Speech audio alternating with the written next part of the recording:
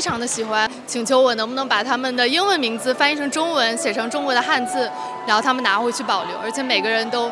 嗯，非常喜欢这种形式。I love the event. I love that it's it's quite professionally set up. It looks really neat, it looks nice, there's a lot of different stalls, a lot of different things to do and look at.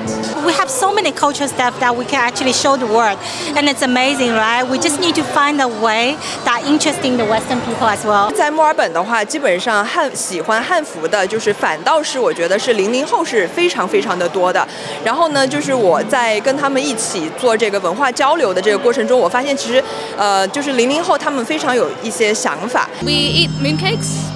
there isn't a specific type of moon cake we have, but I tend to go for the red bean moon cakes.